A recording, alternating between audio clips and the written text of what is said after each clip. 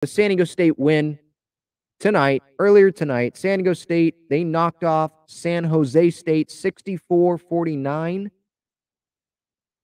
I wanted San Diego State to not have to be playing in a close game, like just for once. Like, show me that you can blow out a team, just dominate a team.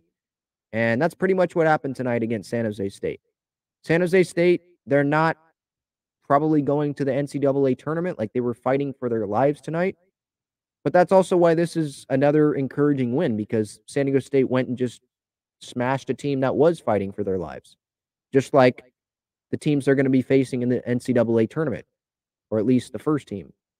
Teams, hopefully, because hopefully they can win a tournament game and they're playing multiple games, playing multiple teams, right? Uh, but they're going to be fighting for their lives after this tournament. So they got to get used to that playing teams that are also fighting for their lives. And it was big to get this win because I think it instilled confidence back into Darrion Trammell. And I could point to other players on the team like Lamont Butler, Matt Bradley. They both scored double digit points tonight, which I thought was big. And Ledee and Mensah. But with Trammell, he was limping at the end of the half. And so I was kind of worried about that a little bit.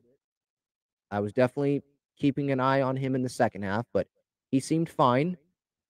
And he scored zero points against Colorado State last night. Let's remember that.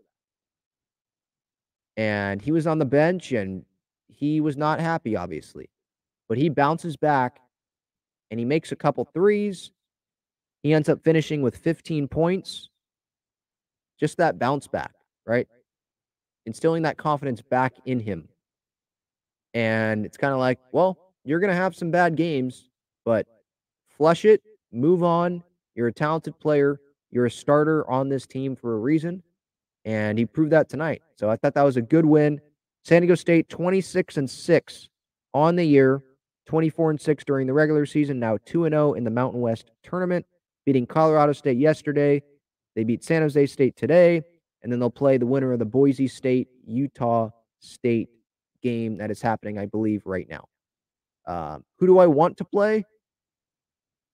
I I would like to play probably Boise State. I, I I'd like to avoid Utah State.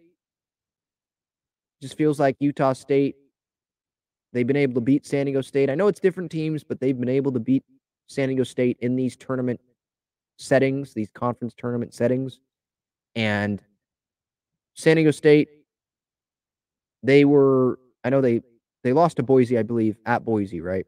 But they smacked Boise at Viejas, and the San Diego State crowd has flocked to Vegas. Like it's home court advantage in Vegas for San Diego State, regardless of who they play. John Schaefer was there today, and he was pretty much saying like it's it's like 20, 25 to 1 in terms of state fans and San Jose State fans.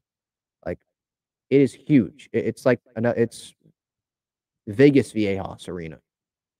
So I'm confident the Aztecs will be able to beat Boise State. I, I still think they can beat Utah State as well, but I'd prefer them not face Utah State. Maybe that's just me thinking of past teams not being able to beat Utah State in the conference tournament setting. But an encouraging win. They had a 16 point lead with 13 minutes to go had a 33-20 lead at halftime. And you know, sometimes this season, right, they had that big lead. They would end up winning the game still, but the lead would get much smaller. And it would end up being like a either a single digit win or like a 10 point win instead of like a 20 point win.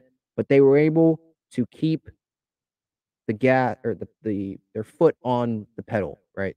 Foot on the gas. Uh, and they end up winning by 15 tonight.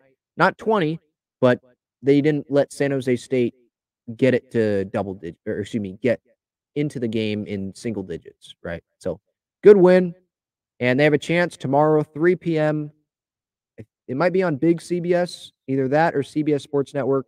3 p.m. tomorrow, Mountain West Tournament Conference Championship game.